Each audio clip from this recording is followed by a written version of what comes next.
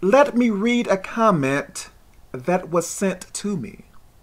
And I want you all to pray for this person. This person is troubled. So help me pray for this person. See, this was written how many years ago? And I believe he is referring to the Bible. Because people are going to hell that get drunk. So people that get high on a crack and heroin, they're okay.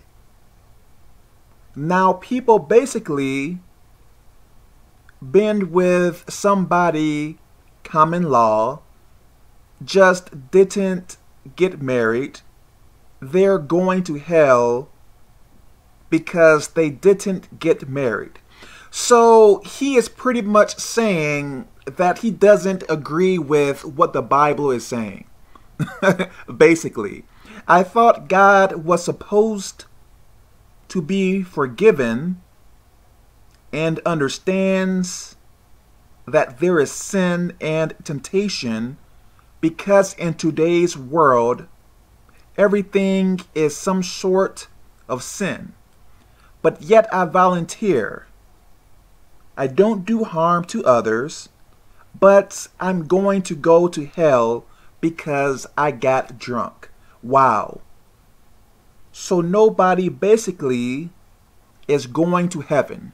So as you can see here, this person doesn't agree with what is written in the Bible.